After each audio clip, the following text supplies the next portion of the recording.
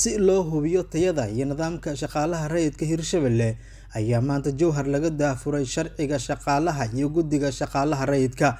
Daafurka munaasabadda waxaa ka qayb galay xubno ka socday labada gole ee maamul goleedka hirshabelle qeybo ka mid ah ururada bulshada rayidka gobolka shabeellada dhexe iyo guddoomiyaha guddiga shaqaalaha rayidka maxamed macalin cumar meyre qaar ka mid ah ka qaybgalayaasha munaasabadda oo daafurka ka hadlay waxa ay codsadeen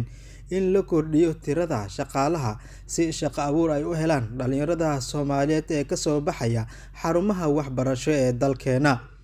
Maanta waxaa meeshan isugu nimid in lagu daafuro furitaanka guddiga shaqaalaha. Shaqaalaha insha allah maxaan kuu sheegay wax badan waa la soo maray. Master meyre iyo wasiirka shaqada iyo shaqaalaha wax badan ay ka soo shaqeeyeen. Salaan kadib maanta waxaan u joognaa xafladda daafurka sharciga shaqaalaha rayidka iyo guddigaba annaga maadaama aan nahay bulshadii rayidka waa soo dhaweyneynaa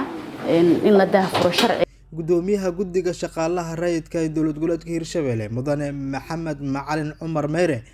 ayaa soo bandhigay waxqabadka shaqaalaha iyo qorshaha kale ee ku saabsan adeegyada dowladda ay siiso shacabka soomaaliyeed ee deegaanada hirshabelle ugu horeyn waan ku faraxsanna maanta aa nagala soo qayb gashaan xafladdan qiimaha badan oo ku saabsan daafurka xeerka lagu dhisay guddiga shaqaalaha rayidka iyo xeerka shaqaalaha rayidka xildhibaanadii wasiirada si gaaraan ugu mahad celinayaa si gaara wasiirka shaqada shaqaalaha howshaan taabgelinteeda lahaa waan isla shaqeyna wasaaradda shaqada shaqaalaha. Wasaaraddii guddiga waxaa waa shaqo waxaa ka dhexeeda maxaa la aad iyo aad u ballaaran. Dhammaan shaqaalaha rayidka dowladdana waxaa waaye maxaa la yidhahdaa sida ay ku soo baxeen iyo shaqada ay hayaan iyo iyadana howl fiican ayaa laga qabtay waxaan rabaa marka inaan wax yar ku laabto guddiga shaqaalaha rayidka wuxuu mas'uul ku yahay sida meesha ku aragtaan maxaa la yidhaahdaa hubinta in si habboon loo dhaqangeliyo sharciga shaqaalaha rayidka dejinta siyaasadaha xeerarka iyo maxaa la dhahaa dhabaha tusaya loogu baahan yahay hirgelinta xeerka shaqaalaha rayidka guud ahaan. Waxay leeyihiin guddigu maxaa la yidhahdaa sharciga shaqaalaha ku qoran yihiin maxaa la saa aragteen buugga buugta maxaa la qaybiyey iyo maxaa la barshuurada guddiga awoodihiisa waxaa ka mid a lambar one waxaa waa difaaca xuquuqda shaqaalaha rayidka sidaa ogsoon tihiin maxaa la yidhahdaa duruufo badan lagu soo shaqeeyey waxaan maxaa la yidhaahdaa mararka qaar waxaa waxyaaba badan naga hor yimid laakiin waxaa waa ka gudubnay. Waxyaaba badan oo biraha maxaa la adag ayaan ka hortagnay oo suurtagal ka ahayn sharciga shaqaalaha rayidka ilaah waa nagu fududeeyey waana ku guuleysanay intaasna waxay naga ahayd maxaa la difaaca shaqaalaha rayidka duruufo badan ay ku shaqeeyaan guddiga. Duruuftana waxaa waaye mid aan la wadaagayno dhammaan dowladda hirshabelle waxaan qornay ilaa hadda maxaa la yidhahdaa shaqaale gaaraya boqol iyo konton iyo labo shaqaale caadi oo ka kooban madaxtooyada wasaaradda maaliyadda guddiga shaqaalaha rayidka wasaaradda waxbarashada wasaaradda caafimaadka iyo handalarka guud. Waxay iskugu jiraan agaasimayaal guud agaasimo waaxeedyo agaasimo qaybada ilaa geerada ugu hoos waa qornay mas'uuliyiin ka tirsan golaha wasiirada xukuumadda hirshabelle oo dhankooda boogaadiyey daafurka shaqaalaha rayidka ayaa waxa ay tilmaameen in shaqaalaha rayidka deegaanada hirshabelle ay mudan yihiin in lagu garab istaago howlaha shaqo ay u hayaan shacabka soomaaliyeed.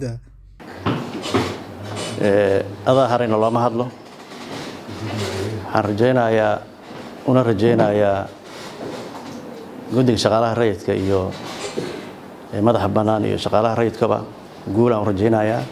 Shaqada guud ee ururka shaqaalaha rayidka dowladda hirshabelle oo runtii udubdhaxaad u ah